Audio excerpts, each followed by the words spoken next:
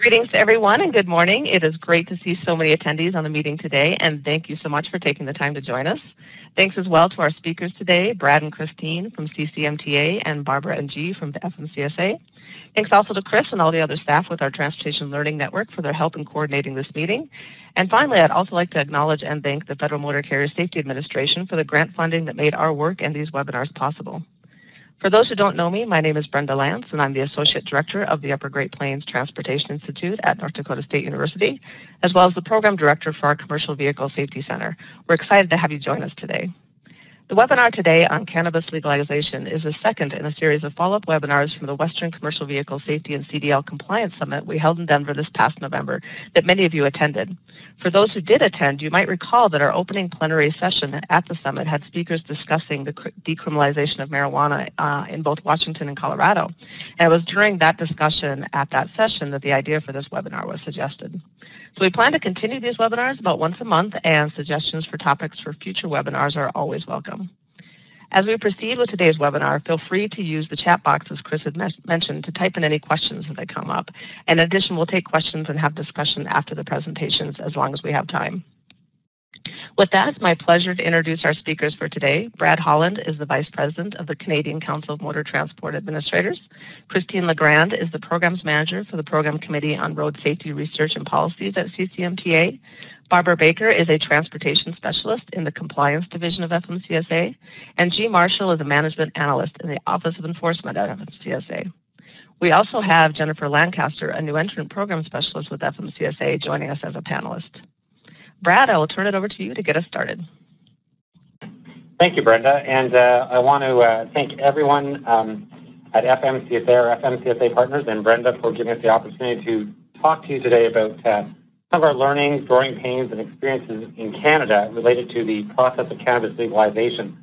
Now, we're, we're really at the beginning of the journey, but we've been on this path for about two years as an organization. And so uh, we want to share with you today you know, some of the, the lessons learned and uh, the role that we played in helping our members, um, uh, you know, face some of the issues and challenges of cannabis legalization and impaired driving. So first today, we're, we're going to talk a little bit about CCMTA and who we are and our priorities, and then we'll give you a bit of a background about Bill C-45 and C-46, the two pieces of federal legislation around cannabis legalization that impacts our members. And then we'll talk about our, our experiences leading up to um, having discussions with the federal government and uh, making our concerns known around impaired driving. Uh, and then I understand that there's an opportunity for questions at the end of the session.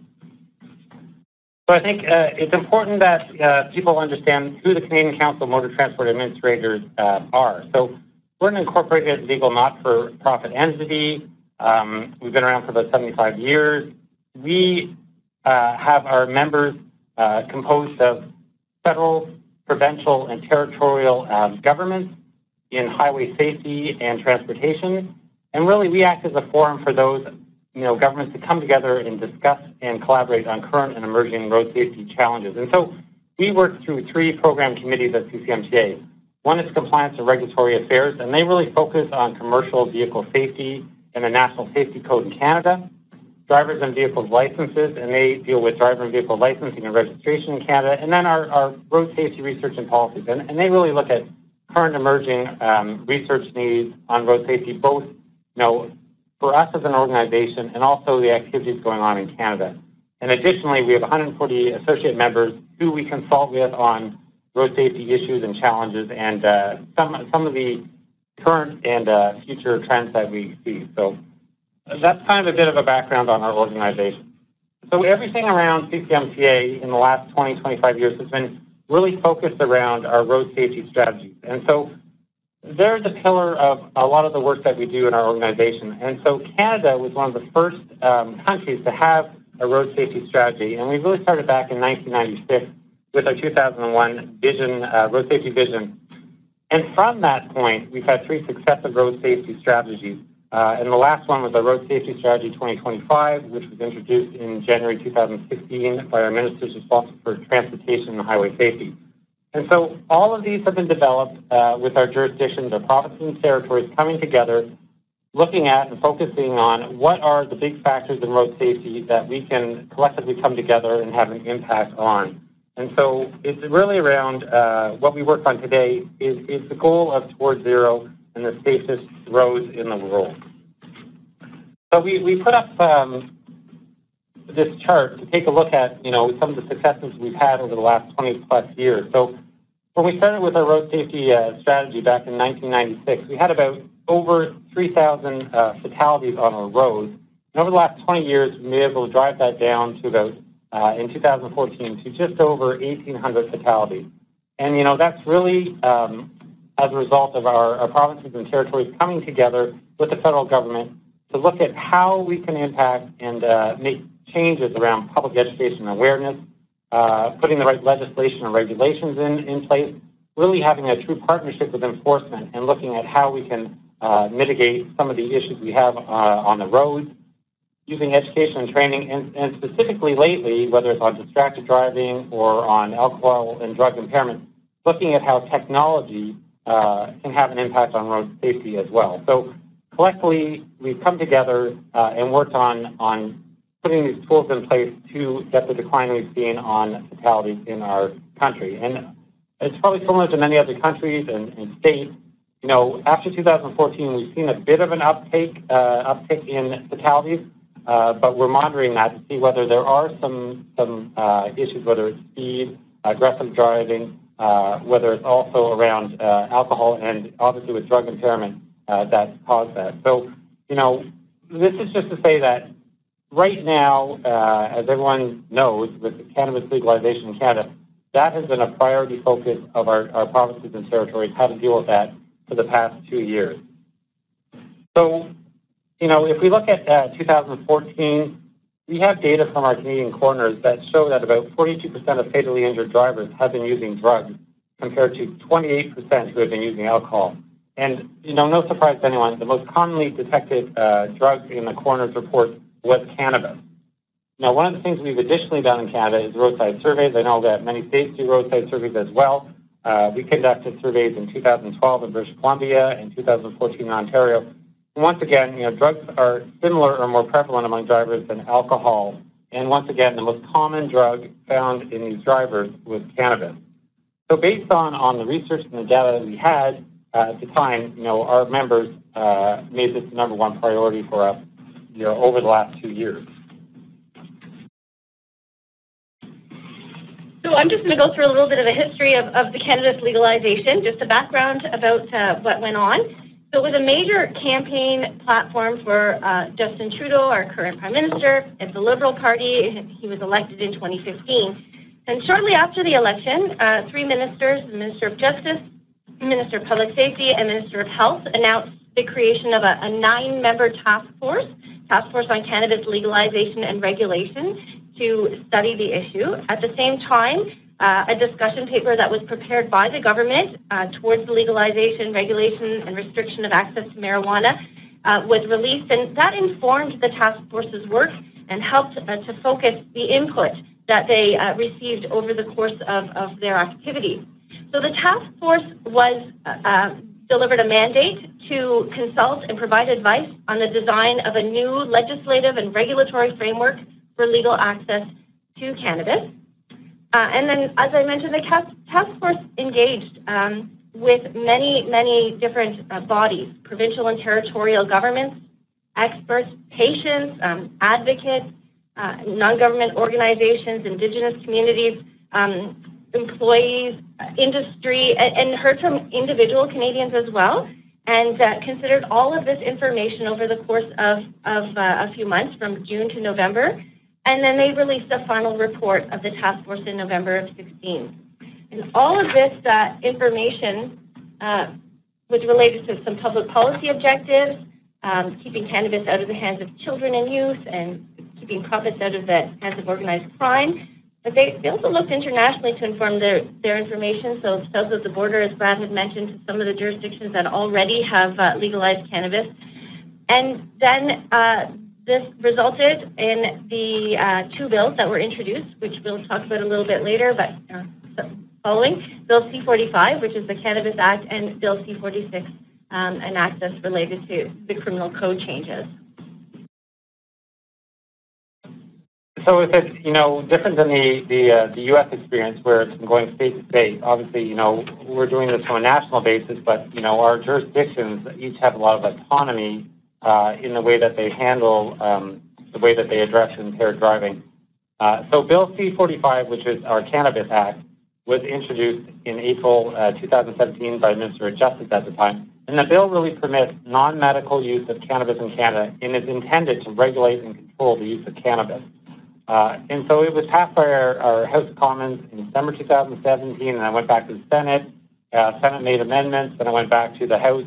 Uh, and so it was passed by the Senate finally on June 19, 2018. So it, it's very recent. So our, our provinces and jurisdictions between the, the time the federal government came in to the time that it's actually uh, the bills become effective, there was not a lot of time. And I think a, a lot of the issues and challenges, and I'm not sure the states face the same challenges with, with a truncated timeline to deal with this from a federal and a national level.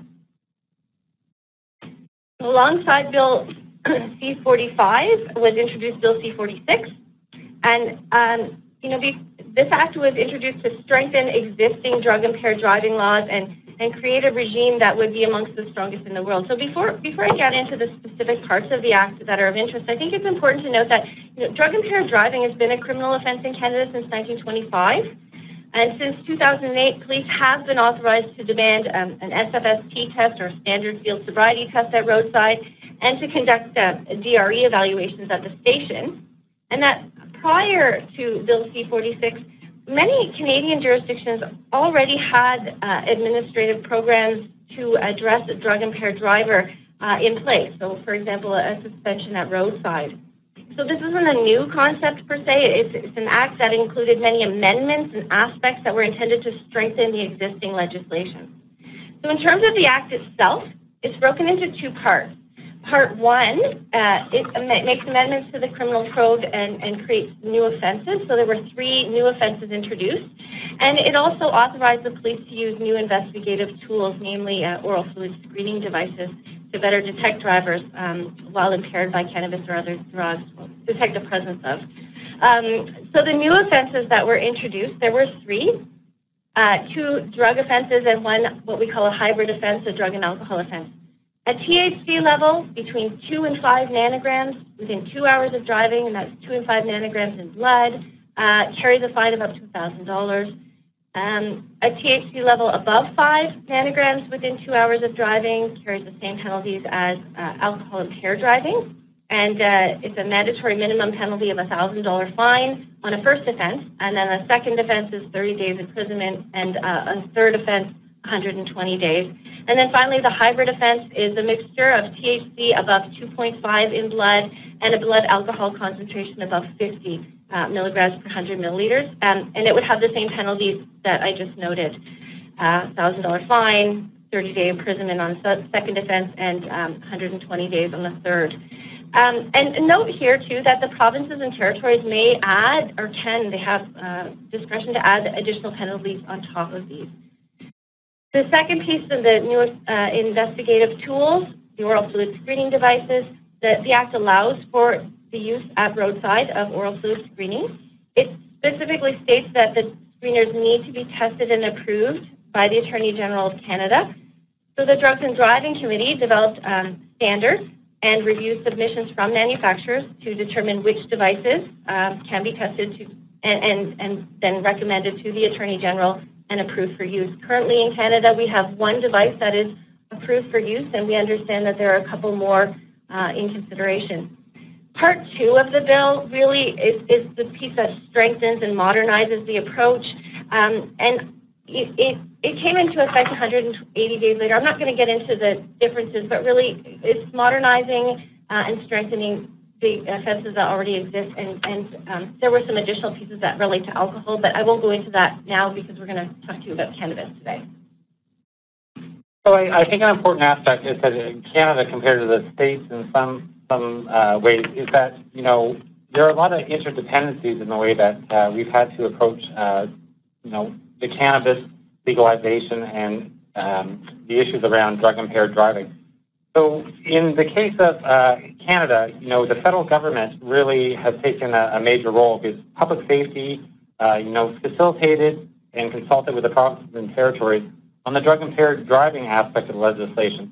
And our organization, CCMTA, with our members, we work both uh, directly with public safety, but also through the different uh, provincial, territorial, and federal forums. And the Royal Canadian Mounted Police, which is, uh, you know, basically a national police force, and they who, who are under public safety, they basically led uh, the work on the changes in training modules for officers, uh, whether it's on oral fluid screening devices and operationalization, standard field sobriety tests uh, to make it more uh, comprehensive for uh, drug impairment, as well as the drug recognition evaluation training. So, so they took a, a, major lead on that, whether it was online or in-person training, and um, uh, working with other police agencies and forces across Canada. And Justice, the Department of Justice here obviously oversees the Criminal Code of Canada changes, and when Christine talked about setting the THC limits for impaired driving, oral fluid screening devices, as well as, you know, the certification and technical standards around oral fluid screening devices. Uh, as you could understand, Health Canada, you know, oversees um, certain aspects of the Cannabis Act about, you know, setting minimum regulations regarding possession limits and age restrictions for our citizens, and the licensing of cannabis producers and the conditions for or um, cultivation of cannabis, and working with the provinces and territories around, you know, obviously each province was looking at different um, distribution models uh, within their provinces, and so Health Canada worked with them on that as well. And then Transport Canada, who is a member of CCMTA, uh, obviously does a lot of the interdepartmental work and provided technical uh, support and equipment for jurisdictions as we did some of the research on, um, on roadside surveys. Uh, and they also supported the data in terms of collision data, fatality database analysis, uh, and some of the other research proposals. And last, of course, is our, our members, which are our jurisdictions, the provinces and territories. And they really look after, as Christine said, the administrative laws on alcohol and drug impaired driving, different ways to approach this, uh, this problem besides the criminal code um, way of, of dealing with it. And they also are in charge of the enforcement of the law. So whether it's the purchase of oral fluid screening devices and their training, uh, training on SFST with their officers, DREs, and they also had to deal with the changes due to the renumbering of our impaired driving sections of the criminal code and the administration of justice in the end. So all of these parties had to come together uh, and find a way to work and collaborate to get to where we are today. And it's still it's still a learning process. There's still a lot of deliberations going on. I think that's an important uh, point to make. So how did CCMTA engage on this issue throughout the whole process? Um, you know, Brad mentioned a lot of the interdependencies, and we were woven in, in many of those discussions throughout the process. Uh, early on, in terms of the federal task force, we uh, engaged with uh, our partners to identify a number of areas of concern, and um, we conveyed those issues to the federal government uh, and to the, the task force. So a number of the issues here listed on the screen, key considerations, included timing. So Brad alluded to that, the aggressive timelines. They needed to get time to put in place the legislative and regulatory regimes um, in some instances, jurisdictions needed information from the other departments. Those interdependencies really played a role uh, about informing decisions. We can't make a decision on X until we know what Y is going to be. Um, oral fluid testing devices, uh, we knew that the, the devices would be approved, but we the jurisdictions had many questions relating to the timelines and how they would be approved, when the standards would be in place, and would the approval process be aligned with the actual legislation proposed, the, the date proposed for legalization. Um, they needed information for training, uh, procurement of devices, resources, changing their internal systems. Many aspects of Bill C-46 involved um, a, a, whole renumbering of their systems in, in terms of what their their uh, their IT support and their logistics pieces needed to to um, uh, have to support the federal level changes. Uh, discussions took place related to zero tolerance administrative laws uh, and whether those could be actually introduced and who, who they would apply to.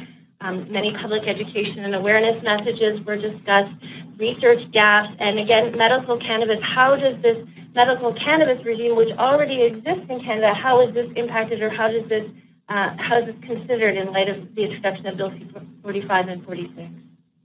And for every challenge here on the screen, um, there were there were funding requirements and human resource requirements. So throughout the process, there was a little bit of uncertainty and questions related to where would funding come from, and, and we knew there was money put aside. Jurisdictions were aware of that, but what it could be used for, how much each jurisdiction was going to uh, be able to tap into, and what they would be using it for, what kind of costs would be involved. Those were all questions we raised with the federal task force on behalf of our members. Um, it, we also uh, developed internally a cannabis impaired driving working group. Um, it was a task force created under the RSRP, so the Road Safety Research and Policy Committee, uh, and identified and prioritized activities that could help support members as we move through this process. We initially developed a working paper, or a white paper, sorry, uh, on, on cannabis impaired driving, uh, so that members could have a common understanding. And there was a lot of education and information sharing initially to make sure we were all singing from the same song sheet, if you will. We all had the same understanding and knowledge base going in. There's a lot of learnings. Um, we, our, our, white paper uh, provided some next steps to the different levels of government. We drew on experiences and lessons learned from other areas, and then we finally highlighted some issues that we thought we would need to consider moving forward. We produced a review of jurisdictional activities. What are the administrative impaired driving laws that we currently have? What kind of considerations are jurisdictions moving towards as we move forward? Um, what kind of legal advice have they received? Uh, what public education and awareness campaigns exist? Uh, what kind of messages need to be created? Who's creating those and how can we leverage them? and research what, what actually is going on here in Canada, what gaps can we um, identify, and where do we need to look to, uh, to improve uh, some of the research areas and fill some of those gaps. Um, we did, as I mentioned, have a, a, discussion with our members early on about zero tolerance administrative laws.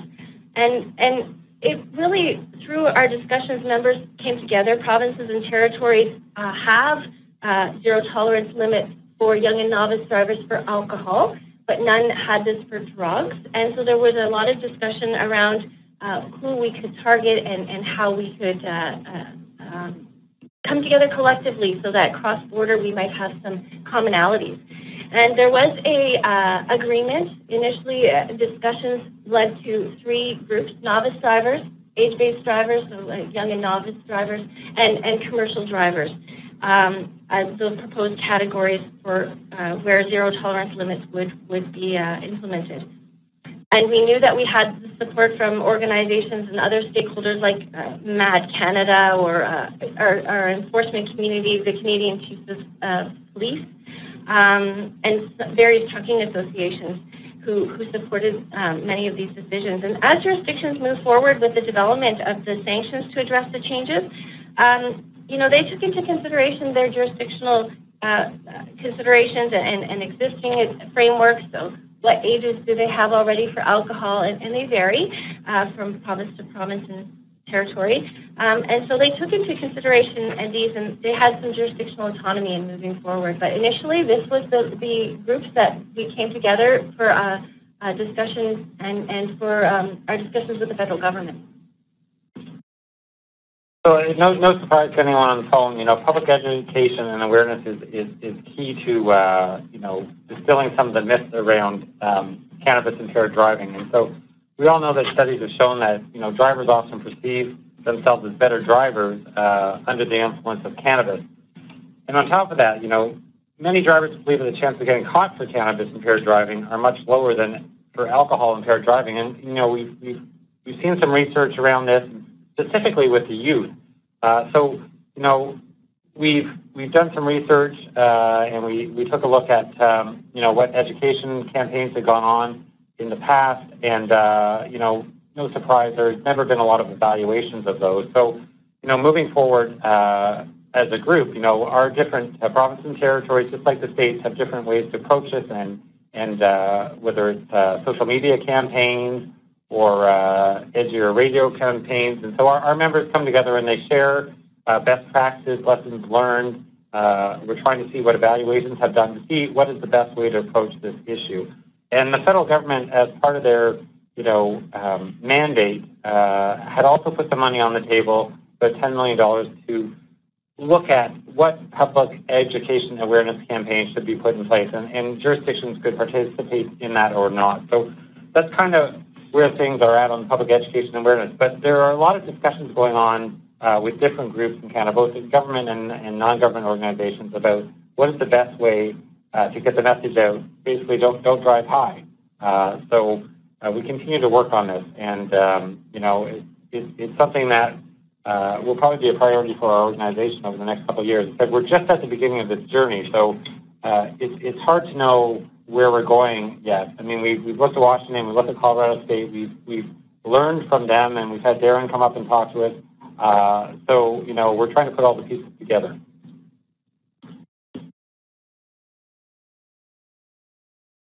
So one of the things that we did early on is, uh, you know, obviously enforcement, there, to Christine's point, you know, there's a lot of concern about the timing and, and you know, this is suddenly going to be before us. How are we going to operationalize this? How are we going to respond to this?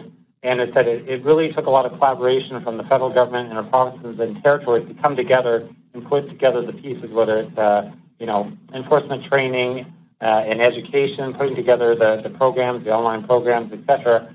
One of the areas where CCMTA thought we could bring value is to, uh, to partner with uh, public safety uh, around oral fluid screening devices. So we did a pilot project where we, we had three oral, oral screening um, fluid devices, and we partnered with several enforcement uh, law agencies across the country to do a, uh, a short-term pilot to see what it was like to operationalize these units in the field.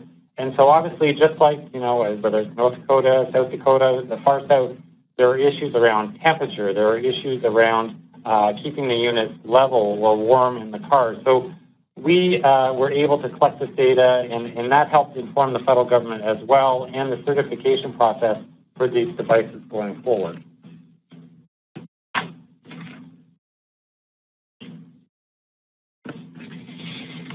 So we've alluded to the roadside surveys um, before in the presentation, and so pre-legalization, it was important to uh, to continue to gather as much information as we could.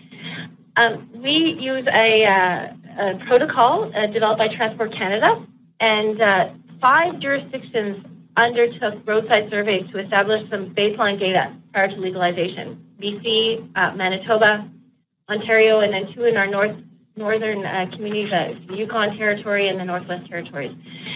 So we have information from five Canadian jurisdictions pre-legalization on alcohol and drug use uh, from our roadside survey, and we're currently consolidating that data uh, to establish the baseline, and, and we anticipate that we'll have some results by June of this year. And as part of this work, it's important to continue to monitor and, and um, get data on, on prevalence and, use by drivers. So we are, there are plans to conduct post uh, uh roadside surveys so that we will have the much needed information to continue to follow the, uh, the impact or the, to understand if there is an impact on cannabis legalization on driving road safety. And we know that road research is, is essential to understand um, what the impact will be moving forward.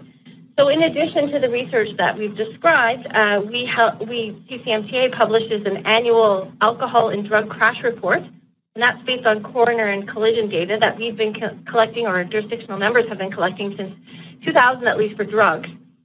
Um, and CCMTA members are also working with uh, a researcher, Dr. Jeff Brubacher, he's in, in BC, to support his research assessing alcohol and drug use by drivers in collision. This is hospitalized hospital data. Uh, he's been doing this work in BC and looking to uh, move out to other jurisdictions so that we have, again, some baseline data, some understanding what is the prevalence of use in, in injured drivers. Um, we will have some data there, so some of our jurisdictions are working on that. We know that there's more research that's still needed. There's need for a consistent approach to testing methods used by coroners. Um, we know that there's other baseline data, and, and, and we also know that there's a lack of data. Uh, so the good news is that there is a mandate within these bills to monitor the impact. Um, public safety is working with our jurisdictions to identify and collect indicators that monitor the impact, and CCMTA, we've been involved in that process throughout. Um, and we continue to work with our federal, provincial, and territorial members um, on, on our data collection, monitoring, and surveillance to assess the impact as we continue to move forward. So that, that gives a, you know, an overview of, of where we've come from over the last two years. And it's really, you know, at this point, uh, following, you know, the royal assent of, of Bill C-45 and C-46, Together, both as a membership and individually, provinces and territories are continuing to monitor cannabis legalization and what the potential impacts on road safety are. I said it's early days. I mean, enforcement has, has not taken a drastically different approach to drug impairment than they had before legalization, which is quite interesting considering the amount of discussion uh, that went around um, the issue of, of drug impairment.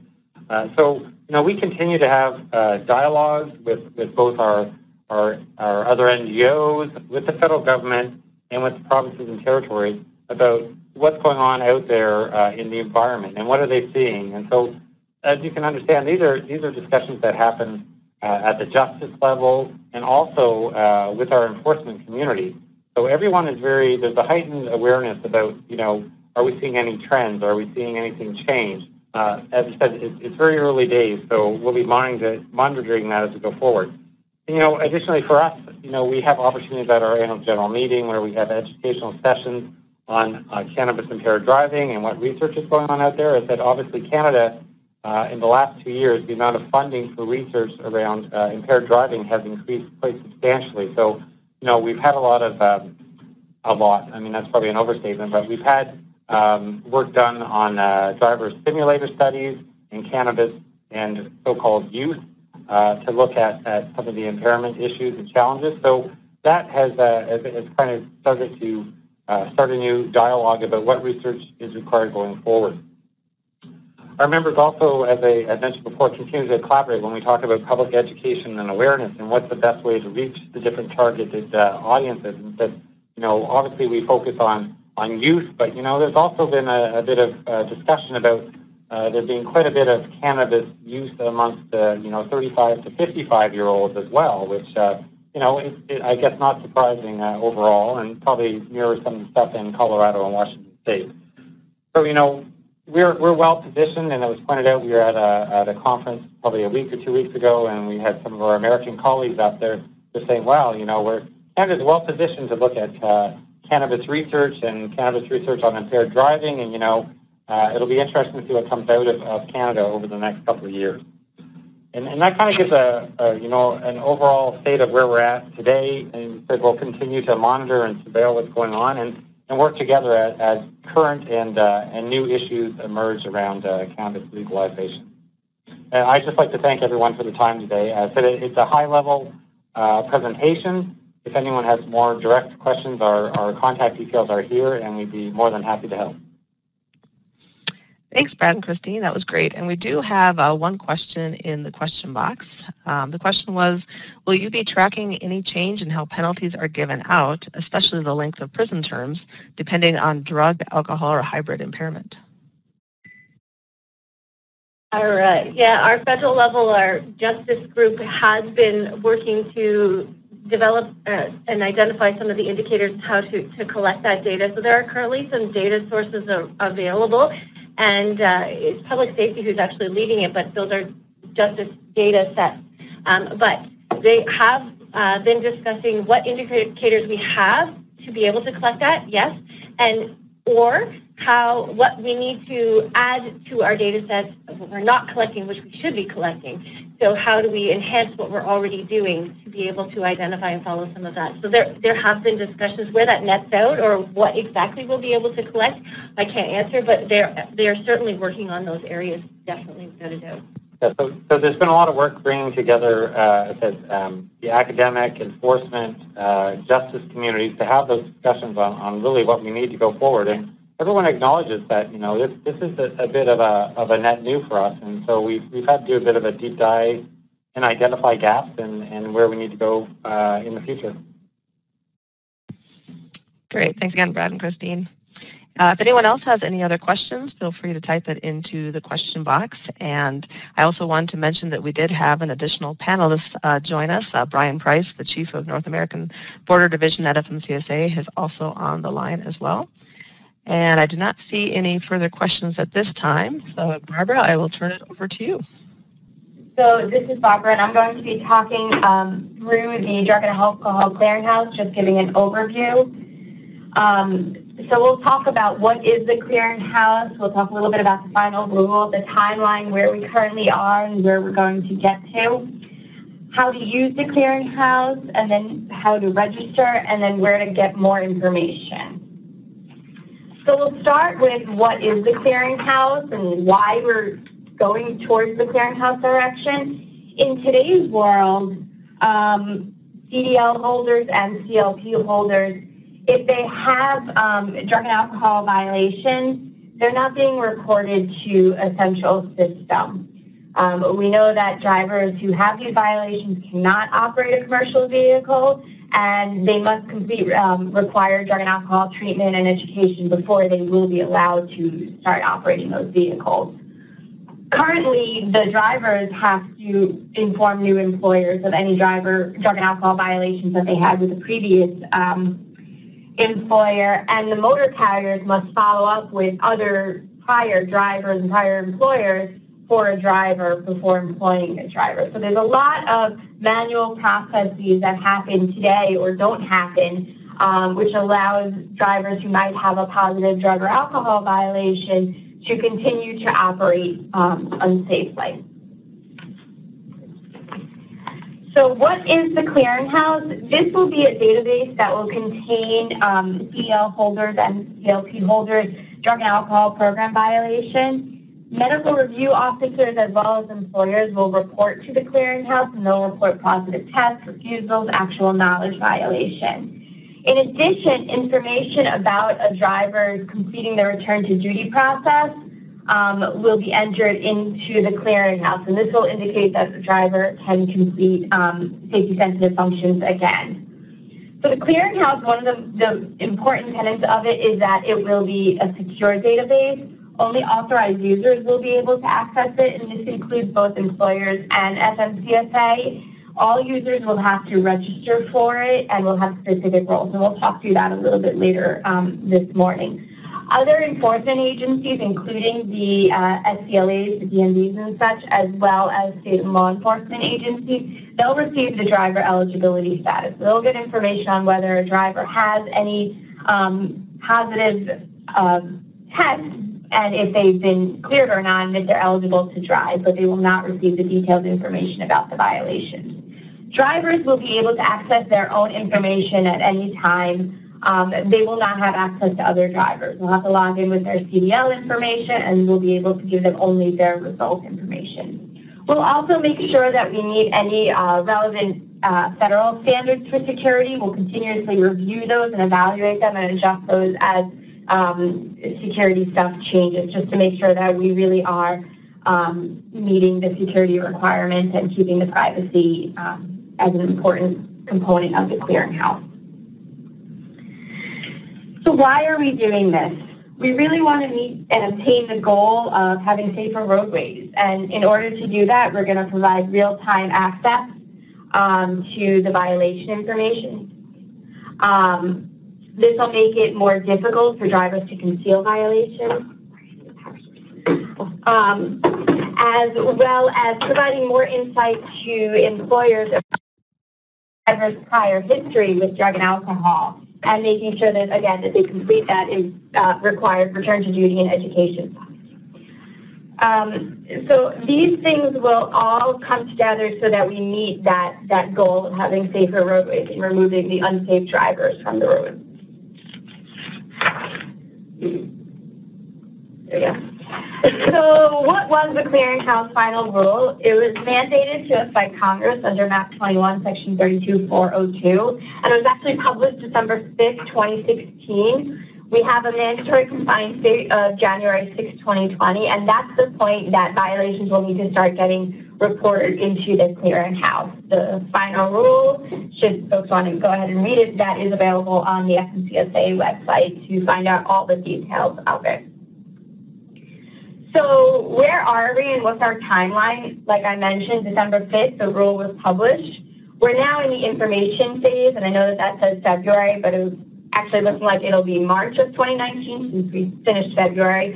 And that's going to be a launch of what we're calling a communication website. What that will provide is general information about the clearinghouse and some FAQs. And it will allow for um, users to sign up for an email um, list. And then from that, we'll be able to reach out and provide updates and other information about the clearinghouse. So like I said, that's any day now we should be publishing that. It's ready to go. We're just waiting for clearance from um, management to go ahead and post that. So that will, once that goes live, that will be the actual address of where the clearinghouse will be posted um, come January of 2020. So starting in October of 2019, that's when we'll open up the clearinghouse so users could go ahead and register and you'll be able to create an account so we're opening that up before the actual implementation date so people can get started and create the uh, account and kind of get used to things a little bit. But we won't actually start um, collecting violations until the mandatory reporting date, and that's January 6, 2020. So once that happens, employers and MROs will be able to enter in violations that happen on or after the, the January 6th date. Um, Employers will be able to use the clearinghouse to query and obtain drivers' past drug and alcohol violation information, but because we'll only be storing violations that have happened on or after January 6th for anything prior, the employer will have to continue to do their manual queries like they do today. By January 6, 2023, that's when we'll hit our three-year mark. And at that point, the clearinghouse will contain three years of violation data. So the employers will no longer need to do manual queries to get prior drug and alcohol um, information. They'll be able to get all of their information for pre-employment and other things from the clearinghouse directly. So we're going to talk a little bit about using the clearinghouse as well as some FAQs. Um, and getting into the clearinghouse FAQs, we're looking specifically a little bit at how they impact Canadian users. Um, and the, the, questions start with, are Canadian uh, drivers subject to the clearinghouse requirements? And yes, they are. So Canadian drivers that operate in the U.S., they're required to comply with the FMCSA drug and alcohol requirements, and they're also required to comply with the clearinghouse requ uh, requirements. So they will be required to provide consent. They'll be required to um, have violations entered into them. Most Canadian employers report drug and alcohol violations to the clearinghouse. The answer is yes again here. Uh, Canadian employers who operate in the U.S., they're also subject to the FMCSA drug and alcohol test requirements, and they're also subject to the clearinghouse requirements. So they will need to do the queries annually for pre-employment as well as reporting violations. Can Canadian medical review officers report confirmed positive tests and refusals to the clearinghouse? Yes, they can, but those MROs must meet the requirements under Part 40, Section 121. Can Canadian um, SAPs or substance abuse professionals report the date of the initial assessment as well as the date that a driver is eligible for their return to duty testing? And yes, they, all, they can as well, but they must meet the requirements under Part 40, Section 281.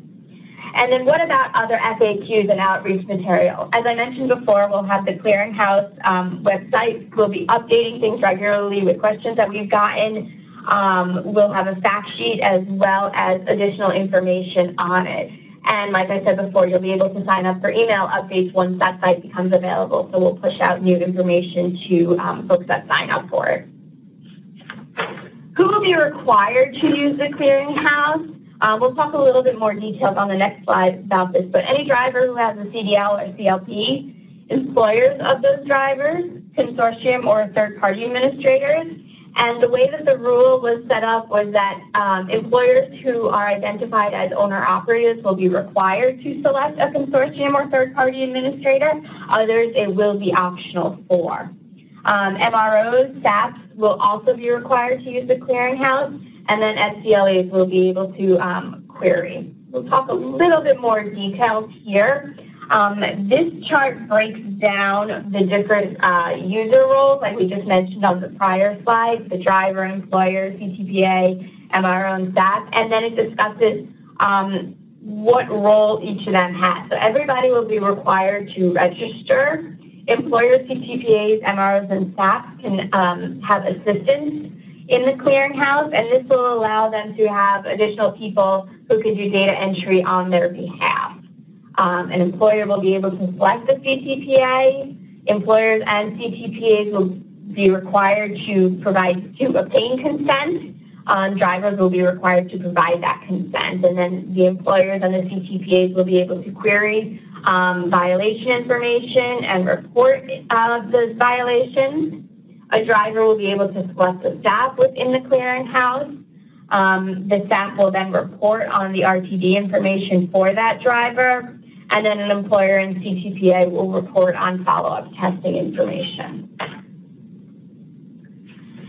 Breaking down each of these individual users a little bit, all drivers will be able to register for the clearinghouse. They'll be able to view their own information and then provide specific consent. So consent will be required um, if an employer is doing a full query, and this includes pre-employment queries. Um, if the driver has tested positive, then they'll be able to select the staff within the clearinghouse. Um, drivers will actually enter in their CDL information and we'll verify that information against CDLIS to ensure that the driver is who they say they are. Um, they'll also be able to enter in their contact information and choose a preferred contact method. So we'll be able to send either letters or preferably um, emails to the driver about actions that happen within the clearinghouse. Also within um, the rule, it specifies that a driver may submit a petition if there's incorrect data, um, if the actual knowledge did not result in a conviction, or um, if there's failure to appear test refusals within the clearinghouse that are not within, in accordance with 382 705b5. And the way that we are establishing that is that the drivers will go through the petition process through the DataQs system.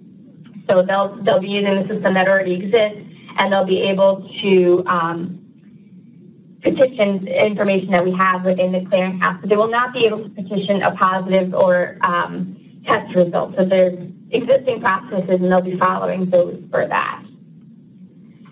Moving down to um, the employer's role, they will also have to register within the clearinghouse. They'll be reporting the drug and alcohol violations.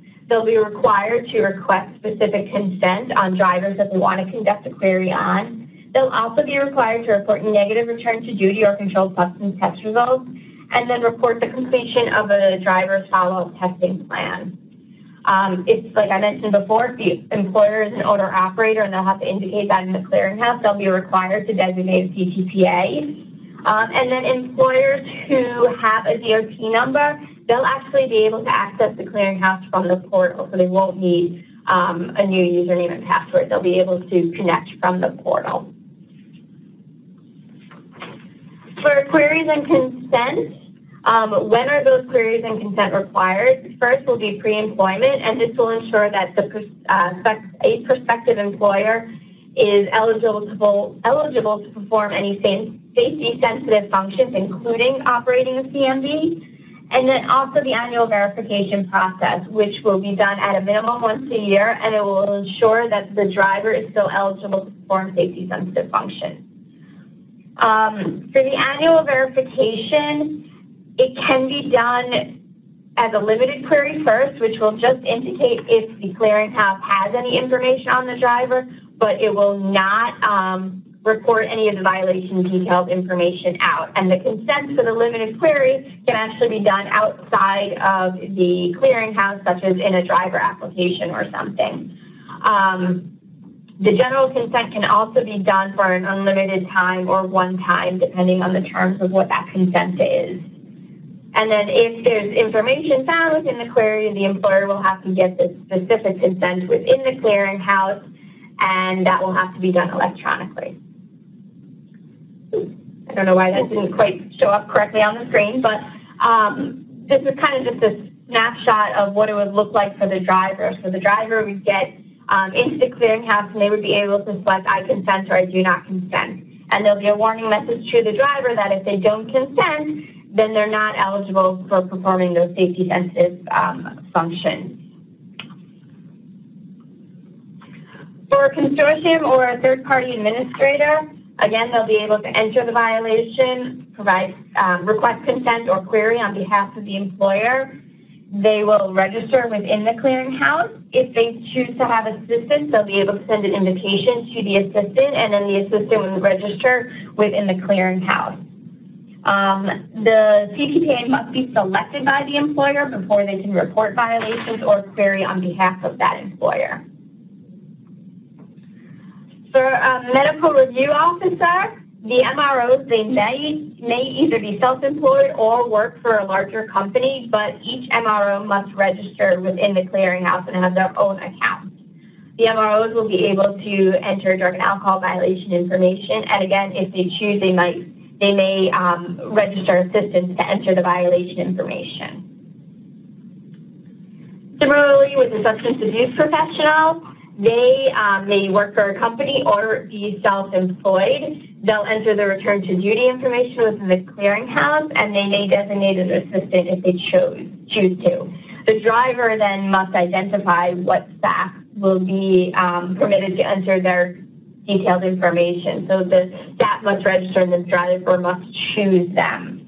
Um, and just like the MROs, each staff individually must have their own uh, username and password and account in the clearinghouse. Regarding the assistants, all of them must actually be invited to register within the clearinghouse.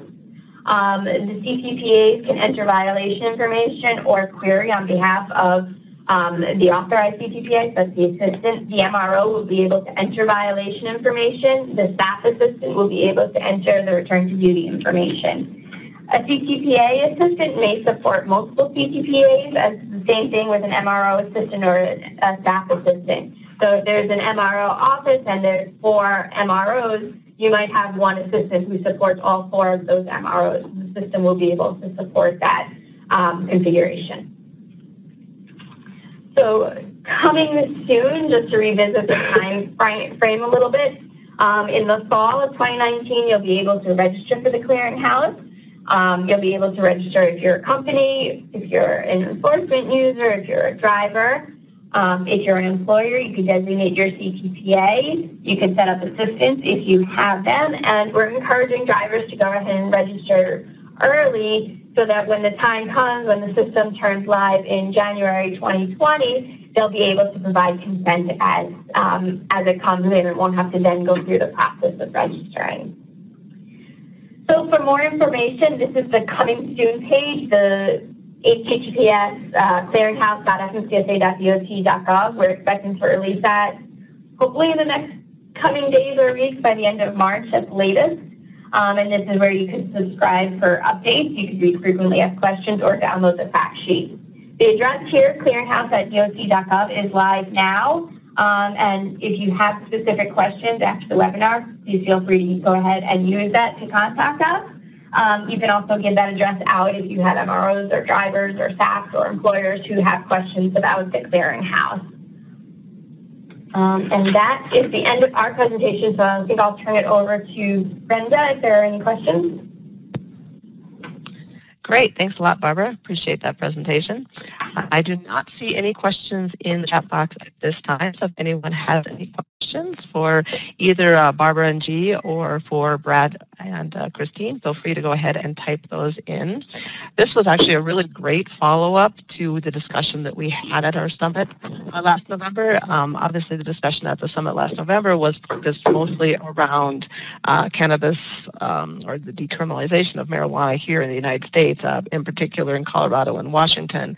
And there were quite a few questions, you know, from um, the summit attendees, you know, regarding if anyone was happening in Canada and how, you know how that was going and how they were addressing it. So we really appreciate that information from Brad and Christine. That was that was great, and I'm sure that uh, we might hold another follow-up webinar in another uh, six months, nine months um, to see if there's any additional um, research and analysis that's been done in that area. And some of the other questions, of course, were around if FMCSA was doing anything um, to address the Canadian as well. So it was also really great information about the Canadian. Um, I still do not see any questions. If anyone has any questions, feel free to type them in. there is one question there. Thank you, Chris. I just saw that. Will violations that end up in the clearinghouse be pushed out to employers or will it require an active query? So uh, violations will not be pushed out except in one specific scenario. So it will require an active query by the employer. If, a, if an employer does a query, and a full query, and then a violation is entered on that driver within the next 30 days, then we will send a notification out to the employer saying that there's new information on a driver that you had previously queried. But other than that, we will not be pushing out the information to the employers. Great. Thanks, Barbara. Are there any other questions? Uh, Brad and Christine, did you have any additional information you'd like to add? Uh, no, No, no, nothing not- Great. All right. Thanks again, everyone. We'll continue to monitor if there's any additional questions, but thanks again, Brad, Christine, Barbara, and G for your presentations today and for all the great information. As I mentioned at the beginning of this webinar, this is the second in a series of webinars as part of our Commercial Vehicle Safety Center, and we will be sending out the announcement for our next webinar soon.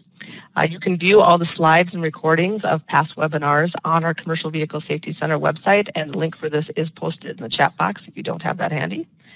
Um, another goal of our center is to provide resources and assistance to help establish partnerships between agencies, industry, and universities. I think you heard a lot of the discussion um, uh, in the original presentation today around the type of research that's needed. So if you're interested in forming a partnership or would like more information, please reference our website or feel free to contact me directly. Thanks again, everyone, for your attendance today, and I'll turn it over to Chris to close the session. Okay, I don't think I have anything else to add. There are no additional questions, so I'll just echo the same thing. Thank you for sharing this information. Um, I found it to be extremely beneficial and very informative, so thank you for doing that. Thank you, everybody, and have a great day.